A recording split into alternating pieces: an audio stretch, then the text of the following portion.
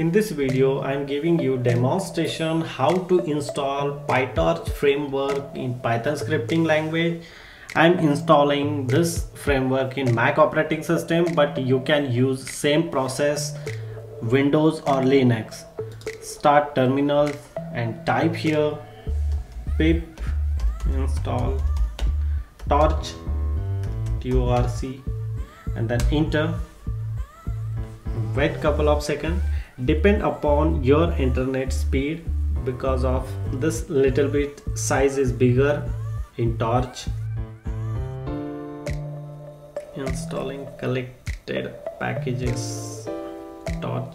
Torch is successfully installed and now time to check torch library your torch framework properly installed or not in your python scripting language. So type here python enter. And then i'm import here torch and then enter.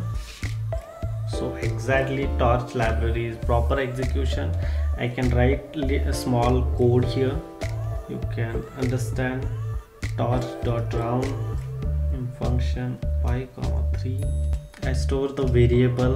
I am storing this value in x variable and then type here print calling here x variable enter look at this so this is the results are correct pytorch framework is properly installed in our anaconda framework as well as python scripting language you can deal this way and solve otherwise install pytorch framework in your operating system Hope you like this video. Before leaving, please subscribe our YouTube channel and press the bell icon. See you in next video. Till then, Jai Hind, Vande Mataram.